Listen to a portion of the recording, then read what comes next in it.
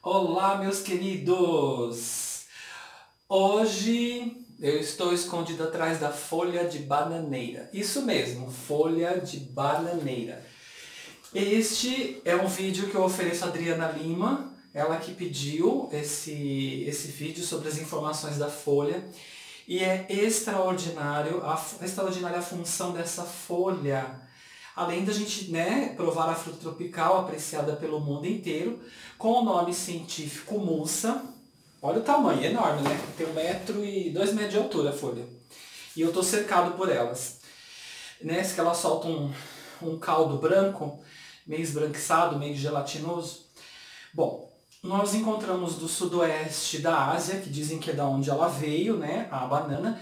Nós trabalhamos através dessas folhas como enfeites, nós podemos utilizar como enfeites de casamento, enfeites na sua varanda, na sua casa, decorativa, né? Fiz uma parte decorativa aqui também para poder fazer o vídeo, ficou bem legal. E também utilizada como embalagens na, na Tailândia, eles já estão utilizando, agora, eu, eu vi essa semana uma, uma informação na internet sobre a Tailândia, que eles estão usando para no lugar de plástico, sabe plástico que a gente armazena é, é, alimento, a gente cobre, eles estão armazenando com a folha da, da bananeira. Mussa, nome científico. E você também pode utilizar para artesanato, tem uma série de funções. Né? Como ela não é tóxica e ela também é, preserva o alimento, também tem é, situações de que você pode colocar armazenado né, dobrado ou fechado o alimento, fechar o alimento aqui. Né? Você pega uma parte disso e você armazena o, o alimento. Eu vou tirar uma parte para vocês verem, que é justamente uma parte que eu vou utilizar depois para explicar para vocês como que eu vou é, fazer o chá. Você pode armazenar, né? Eu não sei se pamonha também a gente pode utilizar dessa forma. E aí você né, dobra, amarra e você utiliza. Você pode armazenar o, o alimento dessa forma. Interessante, né? Muito legal. E você dá uma lavada, claro. É claro que não tem bicho, você percebe que a folha está verdinha, está perfeita para você armazenar do jeito que você achar melhor. A folha da bananeira ela tem alto teor de energia para o nosso organismo.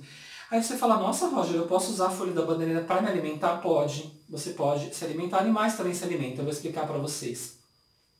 As suas folhas, elas possuem antioxidantes, muito antioxidantes para quebrar os radicais livres do nosso corpo, tudo aquilo de toxinas que a gente acumula com o tempo, a gente pode utilizar a folha da bananeira para esse fim, certo? Ela tem muita proteína também na, na sua composição fitoquímica e também hemicelulose. Olha que interessante. As vitaminas que eu encontro, a vitamina K, a vitamina C, olha que interessante, tem vitamina C, vitamina e vitamina A. Essas são as mais presentes, fora as outras que a documentária também distribui por aí. Uh, nós também podemos encontrar o magnésio uh, como mineral, potássio, cálcio, fósforo, sódio, zinco e também cobre. Olha que interessante, cobre também nós encontramos aqui na folha da bananeira. Uh, suas folhas nós utilizamos tanto assim frescas, verdinhas, quanto secas, certo? Você tem, você pode colher diretamente da bananeira ela seca e você utilizar, não tem problema. Desde que ela não tenha algum bicho ou, ou alguma teia de aranha ou algo parecido, que eu acho meio difícil você encontrar.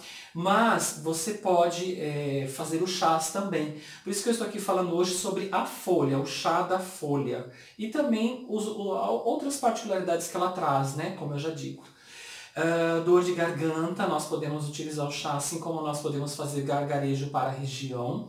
Ela também é utilizada para tosse, melhoria de tosse. Crianças também podem usar, tá? Porque ela não tem teor é, tóxico, ela não tem efeito tóxico e nem colateral para o nosso organismo, então a gente pode usar à vontade, sem medo, entendeu? Tratamos também o resfriado e febre. Nós conseguimos baixar a febre com o chá da folha da bananeira, da mussa. Né? É uma, realmente é uma mussa. É, como eu disse, digo, ela combate os radicais livres por causa dos seus fortes antioxidantes.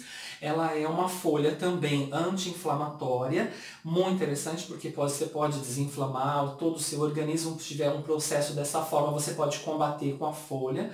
E você também pode prevenir o mal de Alzheimer. Olha que interessante, porque ela, ela melhora bastante a memória, então ela protege axônios, dendritos, toda aquela parte memória, sinapse, toda essa conjunção né, de interligações da parte mental, cerebral, ela ajuda e previne o Alzheimer. Olha que legal. Envelhecimento precoce, tanto como você ingerir, tanto quanto na cosmética. Eu vou explicar para vocês que interessante também. E você pode é, utilizar assim à vontade. Normalmente eu indico 3 xícaras ao dia, mas daqui a pouco eu vou explicar melhor. A alantoína, que é muito presente na folha, o, o, os, os cosméticos, né, a área cosmética, bem embelezadora, pele e tudo mais, utiliza por causa da alantoína, que ela, é um, ela traz uma renovação celular da pele. Então você encontra muitas coisas relacionadas à alantoína, mas se você utilizar a folha naturalmente, você fazer né, um preparo né, uma maceração e pegar essa, esse caldo, né, esse caldo que ela solta, ela solta meio que um caldo gosmento na mão da gente, uma coisa meio que gosmenta. Tá, acho que não dá para vocês verem, uma coisa meio que gosmenta. Agora eu, eu tava com tava com bastante aqui, agora ela não, ela não quer soltar. Acho que agora eu consegui um pouco. Essa, essa parte é, de, de, dessa é, essa baba que ela solta, essa gelatina, o que seja, que é uma coisa meio que grudenta, gelatinosa, fica esbranquiçada. Aqui, sim, aqui tem um alto teor de alantoína. Que aí quando você passa, é claro, você sente um, um breve e pouco cheiro de, da banana, né? Cheiro de banana, mas você sente que a pele fica diferente. A gente vê a textura da pele, né? A, ela, você vê uma, uma renovação rápida e interessante. Então, se você conseguir extrair né, o sumo, você macerando, você pode utilizar na cosmética para beleza, para pele. Olha que interessante. A gente vê né, que ela, ela, ela faz um trabalho rápido e a gente sente esse tratado na pele. Interessante. Uh, você cura feridas também, você pode banhar feridas ou colocar em cima das feridas. Uh, você passa também irritação de pele, utiliza na, na irritação com pele. Uh, diarreia, o chá também faz tratamento da diarreia, recompondo toda a parte digestórias e os intestinos. Você também pode tratar o peristaltismo, também já foi documentado que faz um tratamento para isso. E também ela tem um alto teor adstringente, por isso que a, a, a cosmética, a parte embelezadora, renovadora celular, utiliza muito. Normalmente a gente não encontra em muitos lugares, mas lugares que você encontra mais processos naturais, tratamentos naturais, né? essas vibes que a gente vai, em spa, por exemplo, você encontra a folha. Eles utilizam, é muito interessante. E ela também trata as infecções do nosso organismo e o sistema imunológico, ela aumenta o nosso sistema imunológico com maior rapidez e grandeza, ao ponto de você ficar imune a qualquer situação que venha de fora. Ela é fácil de cortar, você corta em tirinhas, né, essas, essas partes da, das nervuras dela, é, da própria folha, você percebe que você consegue cortar com maior facilidade. Que é através de, desse processo que a gente pode aplicar ou macerar, ou se não fazer a decocção, ou se não chá. Ela fica em tirinhas, tá vendo? Várias tirinhas. É, diminui a celulite, você utilizando cataplasma, você fazendo cataplasma, você pode aplicar na região que você vai melhorar a celulite. Olha só a diferença da minha pele, que já ficou, a parte que estava meio que enrugada já sumiu, já ficou um, processo brilhante aqui. Para você ver como que ficou bom, como que é bom esse processo do tratamento com a bananeira, com as folhas da bananeira. Você utiliza para caspa também, né? O cataplasma você pode utilizar para caspa, para alguns problemas de seborreia, irritação de pele, do couro cabeludo. Você pode também ter esse, esse tratado do cataplasma, fazê-lo e também aplicar na região. Nós tratamos também a aterosclerose, que é a parte das artérias. Nós tratamos a demência. Como eu disse para vocês que ela tem um tratado, uma ajuda na, na no prevenção do mal de Alzheimer, a gente também tem uma melhora da memória e também tem casos de que melhorou bastante a demência, de pessoas que têm esse problema de saúde com demência. Legal. Uh, prevenção de cânceres também foi documentado. Você pode acelerar a cicatrização da pele com a folha. E também, uh, eu não sei se vocês lembram do filme Comer, Rezar e Amar, que a Julia Roberts, ela machuca a perna e aí ela vai numa curandeira e quando ela chega nessa curandeira ela faz um curativo, ela faz um, todo um tratado lá e você pode ver quando a Julia Roberts, à noite que ela queria ir na festa lá no, no, no filme, ela vai e tira. E quando ela tira aquele curativo verde, que parecia uma folha, é a folha de bananeira que tem até uma gosma junto. Ela tira meio que a folha esverdeada com uma, com uma baba, parece uma gelatina. É a folha de bananeira, se vocês prestarem atenção. Então, para você ver como que é milenar o negócio, né? O tratado é milenar. Você reduz acne, você trata as espinhas, as espinhas inflamadas, ajuda bastante na recuperação da pele. Você trata as manchas escuras da pele, que às vezes você vai num tratamento com um dermatologista, ele passa aquelas pomadas caríssimas, manda você manipular e não acontece. Toma um sol, já tá marrom de novo. Faz, faz a, a, o tratamento embelezador da folha, que você vai ver como as suas manchas somem do seu rosto. É fantástico. As folhas também têm um efeito antimicrobiano, por isso que ela já tem essa emissão antimicrobiana. Por isso que eu posso embalar a folha em alimentos, porque ela, ela promove a recuperação do alimento e não deixa que o alimento apodreça, não deixa que o, o alimento se deteriore mais rapidamente, como normal. Então, para você ver, ela tem uma ação antimicrobiana. Por isso que os tailandeses estão usando ela para embalar comidas. E é bem interessante. Substituindo folha de alumínio, substituindo folha de é, plástico, papel de plástico ou saquinho plástico, para utilizar a folha da bananeira. Essa beleza que nós temos aqui, né? Essa a folha da bananeira. Olha que legal isso, que bacana. Então a gente embala alimentos, a gente pode embalar frutas para que as frutas não deteriorem mais rapidamente e vai ajudar nesse, nesse teor antimicrobiano que ela tem. Os animais também se alimentam dessa folha. Interessante. Cabra, ovelha, vaca, galinhas, coelhos, porque ele é um remédio natural. Você vê na Índia, é, eles oferecem a folha da bananeira para as vacas. E para os animais, se os animais se, se, se adaptarem a alimentar, né, ou você também pode é, pegar a folha seca, macerar ela ou triturar ela, deixar quase um pó, e você misturar com ração, você não tem noção do benefício que você vai trazer para os seus animais, para o seu gado, para é, os seus bichinhos. Você pode colocar, pode dar para cachorro, gato, não tem problema, sabe? Não importa a quantidade. Você pode pegar um, um, uma quantidade dessa e secar, ó. Isso aqui você pode misturar em meio, meio quilo ou um quilo de ração. Você já vai cuidar naturalmente com um remédio natural para os seus bichinhos. Olha que interessante. Aposto que muita gente não sabe disso.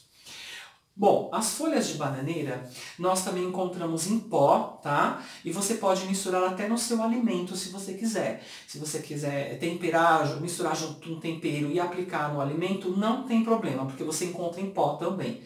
Uh, quiser colocar para secar, você pode colocar para secar, pendurado num lugar que não pegue sol, mas num lugar fresco, arejado, que não tenha bicho. Ela seca rapidamente, assim como você pode colher a folha seca diretamente do pé da bananeira. A banana ela cresce, ela fica grandona, né? Chega a 4, 5 metros de altura às vezes, dependendo. Tem bananeira bem alta que eu já vi por aí. Já vi uma de 5 metros. Interessante. E ela cresce rápido, né? né? Muito, muito, muito, muito legal. Muito bacana não tem efeito colateral, não é tóxica, não interfere em medicamento. Se você quiser tomar medicamento, está fazendo quimioterapia, radioterapia, uh, você está tomando medicamento para Alzheimer, medicamento para dormir, tarja preta, uh, o que esteja, uh, esteroide que seja, você pode utilizar a folha da bananeira que não vai trazer nenhum problema para você. Certo? Interessante. Bom, eu vou precisar de um punhado da folha, é mais ou menos isso, tá? É mais ou menos isso que eu preciso, correto? Um punhado, tá? Esse punhado eu posso usar em um litro de água. Se você quiser colocar uma terceira fita, uma terceira fita, fica um punhado um pouco mais cheio. E esse um punhado, né, que normalmente de folha seca são duas colheres de sopa de folha seca, eu utilizo para 300 ml de água, tá? Não é um litro. Eu vou utilizar 300 ml de água. É uma receitinha que eu vou dar para vocês, que é uma receitinha simples. E vou colocar aí também nos comentários mais receitas receitas relacionadas às doenças que eu falei. Então eu vou fazer dessa forma agora, eu vou fazer diferente. Eu não vou usar um litro de água. Eu vou usar este punhado para 300 ml de água, né? Mais ou menos umas duas ou três xícaras, mais ou menos. Vai no máximo quatro xícaras, no máximo quatro xícaras para esse tanto. E eu vou deixar ferver. Eu vou deixar ferver, eu vou deixar ferver junto com essas três ou quatro xícaras, 300, 350 ml de água. E eu vou deixar ferver, eu vou deixar ferver, eu vou deixar ferver, eu vou deixar ferver até naquela vasilha que você estiver fazendo esse tratado, esse preparado, ficar uma xícara mais ou menos. Você vê, vai ficar mais ou menos uns dois dedinhos, mais ou menos, no fundo. Quando ficar duas xícaras, é o ponto de que todo o concentrado fitoquímico, fitoterápico que tem na folha, vai estar junto com a água. Você desliga, deixa mornar e toma essa xícara. Você pode tomar três xícaras ao dia dessa forma que eu acabei de explicar. Três xícaras ao dia. Pega um punhado, coloca em três ou quatro xícaras de água, deixa ferver, ferver, ferver, ferver, ferver, até secar, secar, secar. Secou, chegou a dois dedinhos no fundo da vasilha, ou no máximo uma xícara de, uma xícara, né, como, como medida, perfeito, deixa esfriar ou amornar, você toma essa xícara. Isso três vezes ao dia. Você pode usar por uma longa data, porque ela não é tóxica, não tem efeitos colaterais e vai promover saúde para o seu organismo certo? Então esse é o tratado da folha da bananeira, nome científico mussa, e vou colocar nos comentários várias receitinhas. Eu tenho acho que até receita de xarope, se eu não me engano. Vou colocar para vocês e não deixem de olhar, porque aí explica corretamente como é que faz, certo? Essa é a folha da bananeira, maravilhosa, que eu colhi aqui no meu quintal, e agradeço a vocês que me acompanham e um grande beijo para Adriana Lima. Adriana, gratidão pela dica da folha da bananeira. E até o próximo vídeo. Até lá!